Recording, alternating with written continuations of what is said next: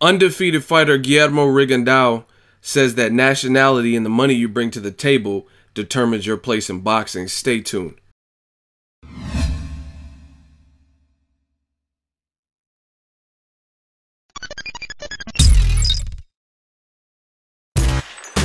Boxing Ego here. If you like this video, make sure you hit the like button and also subscribe to the channel and hit the bell icon on the top of your screen to get notified when the latest new content drops. One.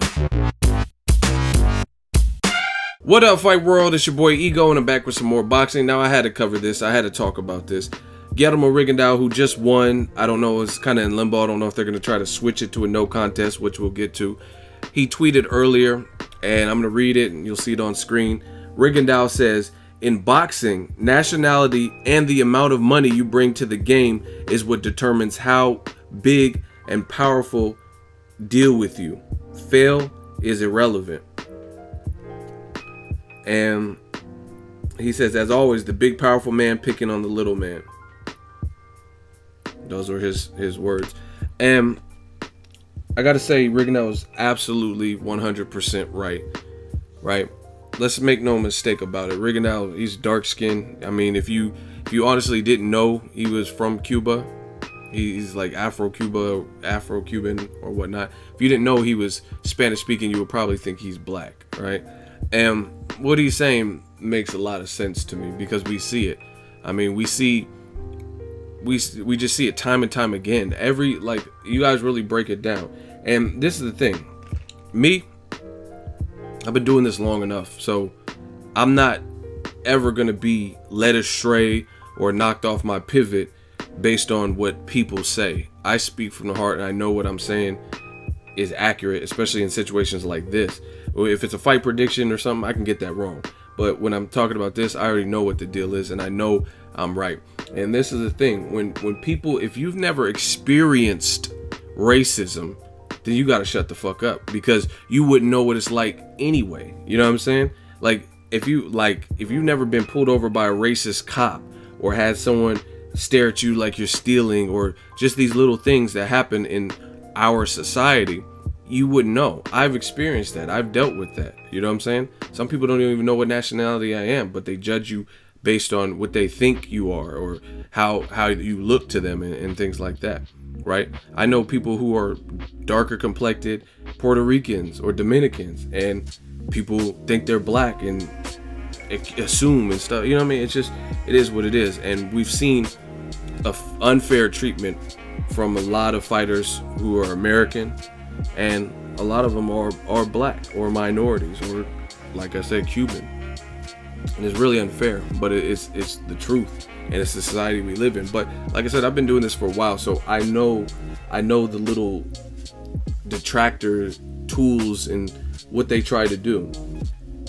If you like this video, some people are gonna say, and you'll you'll see it in the comments. And like I'm no soothsayer, but I guarantee you I can tell you what people are gonna say. Because some people aren't even gonna have the integrity to watch the video.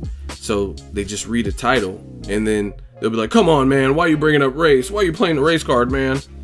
But that's where I have you beat because, like I said, I know you're not even gonna, you don't even care about the, the message contained in. You don't care about the verbiage, what's even being said. You just read a title and, oh man, you're playing the race card. Let's get back to regular boxing. There's no racism in boxing. Like, shut up. You don't know what you're talking about. You know what I mean? And it's clear as day to see and it is what it is. This this is this is the society we live in. So Rigondeaux is 100% right. Like I said, I, I will challenge any of you guys to analyze some of the points that I'm going to bring up, and you tell me it's not the you don't think race has anything to do with it ever. You know what I'm saying? Um, for example, like Rigondeaux, the what happened with his fight it was it was kind of an accident. Most people were picking Rigondeaux to destroy uh, Chucky Moises Flores anyway, but they were both scuffling and like the scuffle ensued beyond the belt and Rigondeaux clocked him.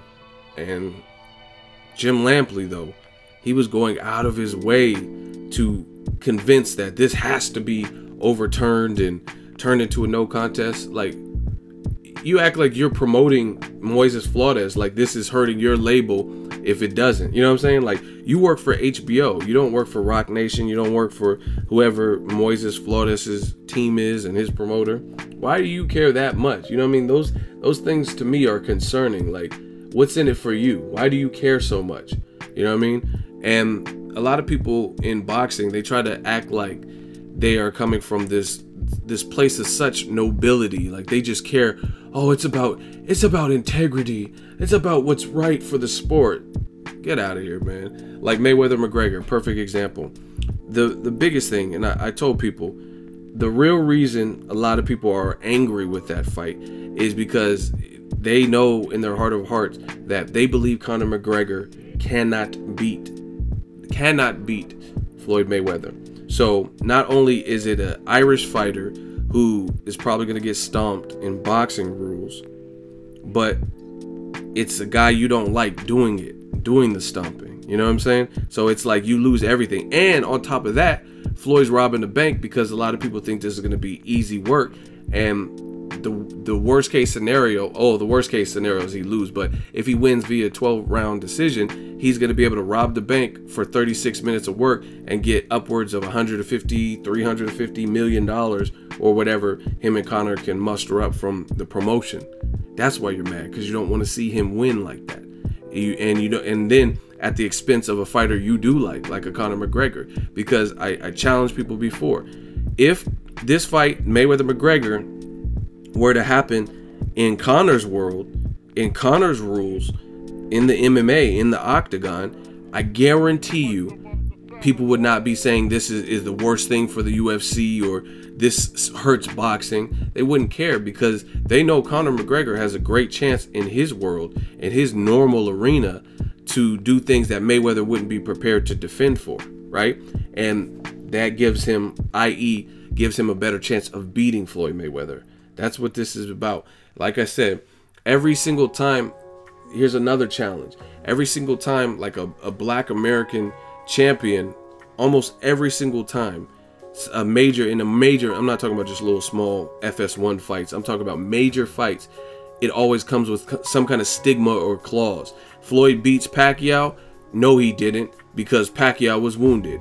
He had a shoulder injury that he never declared, and he wanted Toradol and this and that, or watch the fight in slow motion. So after five years of debate, and we're reduced to excuses, Terrence Crawford dominates Viktor Postol, leaves nothing to the imagination, knocks him down two times. I covered the fight live, and guess what? It wasn't good enough. He should have pressed the action more. Crawford ran. You know what I'm saying? It's, it's always that. If the if the performance is too good, then they were a bum or this fighter ran, things like that. If it wasn't good enough, you know what I mean? It's like no matter what it is, it's always something. There's there's a conspiracy theory, just like Ward Kovalev. Ward just beat Kovalev. Kovalev was bending over and folding over. Why is the crusher? Why is the bully hunched over? And why is he getting hurt by someone who slaps like a 15 year old girl, in the words of Kovalev before the fight, right? And Kovalev still hasn't admit that he was hurt. And the world's seen it. I was there live. I, I was in Vegas. You know what I mean? And now it's the the low blow gate and stuff like that. Instead of just giving the man his propers and just being like, damn, Ward came back, he came back correct. Some people are doing it, but there's a lot of people who aren't. And they're like low blows, no explanation, no, oh, Kovalev was doing X, Y, and Z. It's just Ward won based on low blows. Some of you guys are so stupid you don't even know what a low blow is. You have a belt line and you have anything under that. Ward, if anything, he hit him on the belt line, which is questionable because it's all based on the proximity of, of how high your trunks are. You know what I'm saying? And Kovalev's trunks looked pretty high. So his belt line is going to be higher up. I couldn't even see his belly button. That's another indication. Someone showed me a picture of Kovalev's navel from pause from the Ward Kovalev 2 fight, and you won't really see that, right? And like I said, there's always has to be some kind of stipulations on why that fighter really didn't win, or if they won, it was they waited till the person got old, or they ran, or some extra stuff. So Rigondeaux, you the man, you a, you a G in the game, and you're 100% right. You know what I mean? And they act like this video. I told you this video is uncut because I don't really have time to to sugarcoat. Um, but the other thing I noticed is they want to market certain fighters as if they're the only stars in boxing. HBO is sleeping, absolutely sleeping on a gym in Terrence Crawford, right? This dude is kicking ass and taking names, and I don't see the, the same promotion that he's getting versus other fighters. You know what I mean? Like a Lomachenko or a Triple G. And to me, one guy's been beaten, Lomachenko's been beaten, and they're still saying he's number one pound for pound. Why would you put him above Crawford, who has 30 plus fights? He's been doing this longer at a higher level. You know what I mean? He took Breidis Prescott on with two weeks' notice. Two weeks. Moved up a division where he was fighting at 35, and I think he fought Prescott at 40. So he moved up against his manager's wishes on two weeks' notice to prepare. He said, Nah, I could beat this dude. Chill out, Cameron Dunkin. I got this. Beat his ass, beat Breidis Prescott, made him look foolish in there, and has been on and popping since. He slayed two Olympic gold medalists Yuriorkis Gamboa and Felix Diaz, especially Diaz. At least Gamboa gave him some rounds and gave him some work in that first half. But Diaz was really no match, and he was playing around, playing patty cake with him and destroying him, and, and eventually stopped him also. So he stopped two Olympic gold medalists. He beat a 50-50 fighter, a 50-50 fight, Viktor Postol. Yet the guy with nine fights and a loss, Lomachenko, people are acting like we've never seen this before. We've never seen someone that moves and has an offense. What are you talking about? Crawford can move. He can move his leg good. And he has an offense. So what are we talking about here? You know what I mean? And he hasn't lost. And he has more fights. So more data. And like I said, it tell the truth. Tell the truth. It's always gonna come out at the end of the day. HBO can keep saying, oh, Chocolatito's number one, and ESPN, Golovkin and Chocolatito. Now what are you gonna say if Canelo beats Golovkin? What if what if Canelo stops Golovkin? And you just told us that he was the best 25 in the last 25 years. ESPN did, right? So let me get this straight. Two fighters that surpassed guys like Terry Norris and Miguel Cotto on the ESPN best 25 in the last 25. If Golovkin loses, that'll be the second fighter after Chocolatito that lost. Now, I, I could say, okay, the Chocolatito fight was controversial, but he still didn't look great in his last two fights at all. You know I mean? His eyes were swollen shut, nails shut in the Cuadras fight. And then he fought Sor Rungvisai, a guy who really only had one name on his resume, which was Carlos Cuadras. And guess what? He lost the fight. Definitely on paper. And if he lost it to you, I was at that fight too in New York. If he lost it to you, maybe that's up for debate. But either way, he didn't look like a pound for pound number one fighter. Meanwhile, Ward jumps up in weight, more pounds than Chocolatito, right?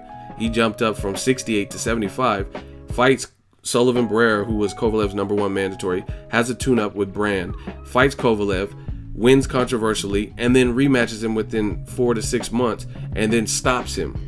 The guy who was a champion in the division, a guy who was a Goliath, a guy who had more punching power, a guy who was the crusher, all these things, right? And you mean to tell me boxing has nothing to do with race? Get out of here, you know what I mean? But it's too easy. And we don't sweat it. We just keep moving and we keep doing what we do. But I, I, I promise you, men lie, women lie, numbers don't. People are gonna look at this video and say, "Oh, you're full of shit, ego. You're just why are you playing the race card, right?" I have no reason to. I'm biracial. I can say whatever I want. You know what I'm saying? I can turn my cheek and act like I don't see this stuff, but that's not me. I've never been the one to tuck my tail and not be honest like that. And it doesn't make sense for me to do that. If I see something, then I can speak on it. And ain't no one gonna do shit. No one could do shit about it. You know what I mean? I can speak my mind. And like I said, men lie, women lie, numbers don't. If I'm so wrong, then look at the growth of my channel and then look at their channels. The people who are saying exact, oh, there's no racism in boxing. Oh, you're being petty. Oh, this is, oh, low blows. Okay, you, Mr. Low Blow channel, right? Why are your numbers so low, right? Why are your subscribers so low? You know what I mean? Why your articles have poor feedback? You know what I mean? This is, and I don't have to say this to gloat or, or brag. And if the person who did it is watching the video, you'll know what's up. I was at the fight in Las Vegas. A guy seen me. He's like, "Man, I respect what you do. You, the truth. I watch your videos all the time." And I said, "Appreciate it." Then I seen him later again, and he dapped me up and put something in my hand. I was like, "What? The, what is this?" You know what I mean? And then I put it in my pocket. The dude gave me money just a hundred dollars on the strength. He said, "Consider this my donation." That's what he said, and then he shook my hand and then put something in my hand. So I'm like, "What the hell?" just off the strength. So it is what it is. At the end of the day, I, am not. I don't have to brag or, or boast, but these are real life scenarios and situations. And like I said, the person who did it, they'll they'll know if they're watching this video. So I appreciate you. Thank you for the support. And you know what I mean. I'm I'm good wherever I go. and that, that's just what it is. So you guys can keep the smart person would see that you're on the losing side of of the battle and that battle is telling the truth versus these fabricated lies about fighters. And then they would say yeah maybe i should change you know what i mean? But a lot of these guys are just like the fighters when fighters are hurt like kovalev they're too prideful you know what i mean they don't want to admit like hey man i guess i can't start i have to stop saying such radical things that don't make sense that are race based or this or that or i guess i got to start giving credit to these american champions who are doing the damn thing and people always say stupid stuff like this is another tactic that racists use. They'll say stuff like, "Oh, you only like black fighters." First of all, that's not true. Second of all, there are a lot of talented black fighters. That is not my fault. That's like that's like liking the Lakers and you say, "Oh, why is your favorite player black? You're racist." You know what I mean? Majority of the the players on the team in general are black, just like the Golden State Warriors. Most of the guys on there that have the superstar names are black or part black, right? That's not my fault. I didn't create, I didn't assemble this team. You know what I mean? This is just what it is. So if you like Steph Curry, if you like Klay, you like Draymond, right? Whoever you like, it's that's what it is. Livingston, they're all black. You know what I'm saying? So there's a lot of dominant black athletes in different sports. You know what I mean? And that's just what it is. But they'll try to make it like it's something beyond that. There are a lot of great American champions. Floyd, Andre Ward, Terrence Crawford, right? Deontay Wilder is very fun and entertaining, charismatic to watch. That's not my fault. That's just what it is. You tell me who's who's the best white American champion that you would put up with Crawford. Shout out to my dude Caleb Plant. He's one of my favorite, but he's still working to get a good name so he can show what he could do, right? But aside from Caleb Plant, name you name the white American that the world needs to get behind because they're on the same skill set as a Terrence Crawford. And they've showed you this much as much as Crawford has showed you, or Andre Ward, or Floyd Mayweather. You know what I'm saying? And it's going to be far and few in between. I'm not saying there's nobody out there, but it, there are inherent differences. But that's what they try to do. They try to make it like because you see and you're you're you're praising certain fighters who have showed you something because they have to be they happen to be from a certain ethnicity then they say oh it's, because you're being biased it's, it's just it's so easy to predict man and like i said Rigondeaux's he's absolutely right when it comes to the race in boxing i mean we've seen it you go to you can go to certain people's channels and like i'm seeing comments ward beat kovalev he stopped him and they're like fuck ward i hope he gets hit by a train why because he stopped kovalev why would it be that or the N word or this and that? You know what I'm saying? And a lot of people they try to turn a blind eye to it like they don't see it. You see it, you just don't want to admit it. And like Bernie Mac said, I say what you're thinking. You know what I mean? I say what you're afraid to say. I ain't scared of you motherfuckers. And that's just what it is. So Rigondeaux has a point, and race does play a part in boxing. I don't care what Oscar De La Hoya is talking about. He, he said at one point last year, I think it was, that there is no racism in boxing. Months later, his Golden Boy brand was in cahoots or in communication with some writer who had some affiliation with Ring Magazine, a company he owns, and they're using the N word. So how how how ironic is that? De La Hoya says there's no racism in boxing. What are you talking about? And then they're enthralled in some kind of um, scandal with the N word being thrown around in in cahoots or whatever. I'm not going to say it's someone from Golden Boy directly, but it's somebody that works for somebody that's owned for by Golden Boy. You get what I'm saying? So it, it just I know what I'm talking about. I know what I'm doing. And even as a channel owner, you see it. People they I do a post fight and they'll be like, Nyeh. you know what I'm saying? They'll just leave a comment like that. You don't say what I said wrong. You don't say anything. It's just foolishness. That's why you get blocked and we keep moving. We keep making this money. But Rigondeaux, you are 100% right. I mean, people overly protesting. Like when has Jim Lampley ever been that adamant? You know what I mean? It's like it's it's it's a personal defeat for him when certain things happen. When Pacquiao lost to Bradley, oh, this is the worst robbery I've ever seen. Bang, bang. Why are you that mad? Like, you know what I mean? I've seen. Were you this mad when Pernell Whitaker got robbed? Pernell Whitaker versus Julio Cesar Chavez Sr. was a worse robbery to me than the Tim Bradley. Because Pacquiao didn't even look good in that fight. I had Pacquiao winning too, for the record. I had him winning, but I don't think he looked great. He was fighting in, in very small spurts and flurrying and stuff like that. He was clearly the bigger of the two punchers, but he he didn't look good. It wasn't an impressive performance to me.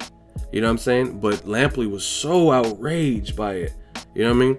You guys got to start giving these these fighters credit, equal credit. And and the last thing I'll say is I know what I'm saying because a lot of people they set up rules, but those rules only apply for certain people. You know what I mean? You'll say, "Oh, Mayweather, he's he's such a coward. Why is he fighting Conor McGregor knowing the fight's going to make millions of dollars, it's going to be financially successful. But when it comes to Pacquiao fighting Jeff Horn on ESPN, you say, "Oh, Pacquiao's a legend. He deserves that." Let up. He's old. Floyd's older than Pacquiao. So what are you talking about? Why is it okay because Pacquiao's old and he's a legend? Why is it okay for him to fight whoever he wants? Because he's old. And Floyd beat him. So Floyd has not earned the same right as Pacquiao when he has an equally good re resume. He beat Pacquiao. He beat Cotto and other people, another person people make excuses for. Oh, he's fighting Kamegai for a title. And those are title fights. Conor McGregor's not a title fight. You know what I mean? Cotto's fighting Kamegai. And oh, Cotto, he's he has a great resume, which he does. He's already proven. So Floyd beat him. So Floyd can't do whatever he want. So many double standards. Let me know what you guys think. Drop it in the comment section. Make sure you share the video, like the video as always.